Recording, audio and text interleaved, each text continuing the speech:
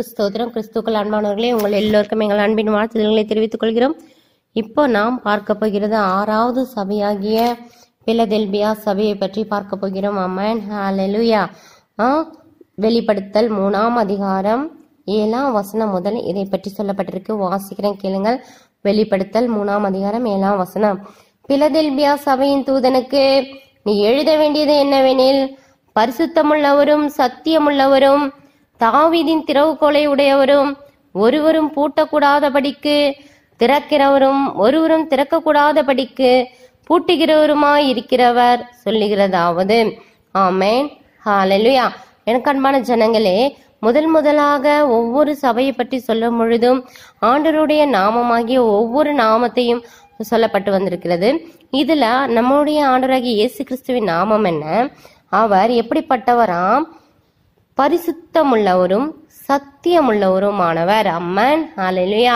யார் இந்த பரிசுத்தமும் சத்தியமுள்ளவர்? நம்முடைய ஆண்டவராகிய இயேசு கிறிஸ்துவே பரிசுத்தமுள்ளவரும் சத்தியமுள்ளவருமானவர். அம்மன் அவர் தாவிதின் திறவுகோலை உடையவரும் ஒருவரும் பூட்டக்கூடாதபடிக்கு திறக்கிறவரும் ஒருவரும் திறக்கக்கூடாதபடிக்கு பூட்டுகிறவருமாய் இருக்கிறவர் ஆ, சொல்கிறதாவது என அவருடைய நாமம் இங்கு சொல்லப்பட்டிருக்கிறது.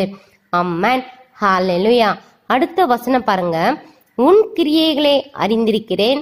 உனக்கு கொஞ்சம் பலன் இருந்தும் நீ என் நாமத்தை மறுதலியாமல் என் வசனத்தை கை கொண்டபடினாலே இதோ திறந்த வாசலை உனக்கு முன்பாக வைத்திருக்கிறேன்.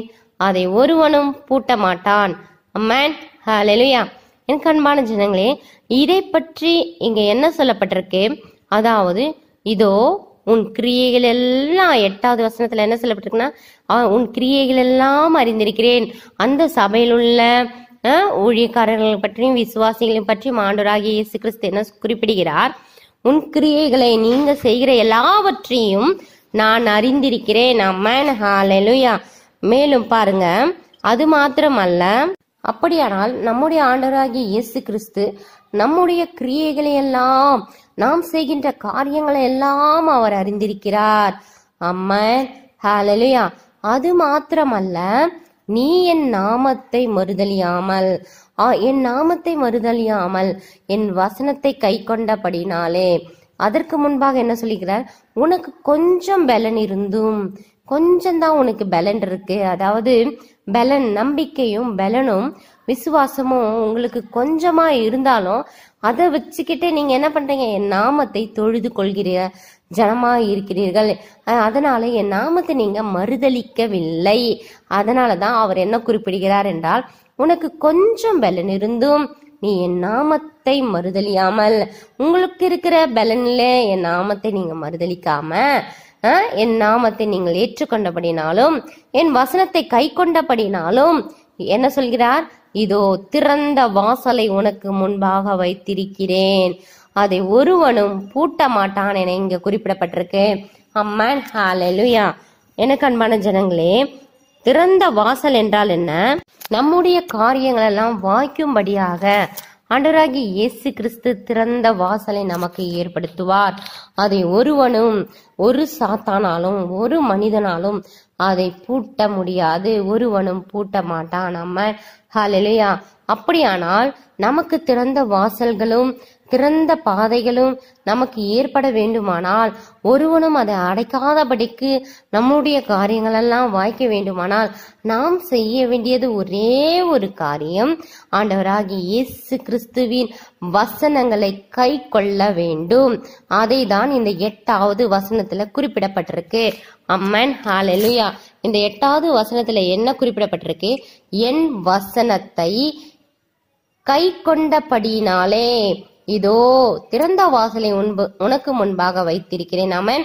அதாவது என்ன குறிப்பிடுகிறாராங்க நீ என்னுடைய வசனத்தை அதாவது வேதத்தை நீ கை கொண்டாயானால் உண்மையாய் கை கொண்டாயானால் இந்த வேதத்தில் சொல்லப்பட்டிருக்கின்றதான வசனங்களை நீ மேலும் அதிகமாய் உன் அதிகமாகவும் உண்மையாகவும் நீ கை கொண்டாயானால் உனக்கு எப்படிப்பட்ட வாசல் உண்டாயிருக்கும்?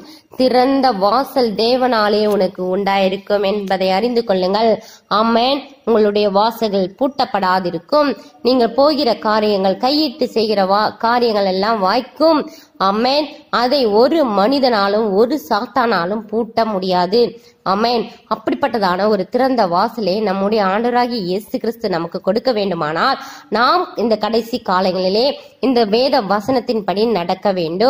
நமக்கு கொஞ்சம் பலன் இருந்தாலும் நம் தேவனை நாம் மறுதலிக்காமல் அவருடைய வசனத்தை நாம் கை கொள்ள வேண்டும்.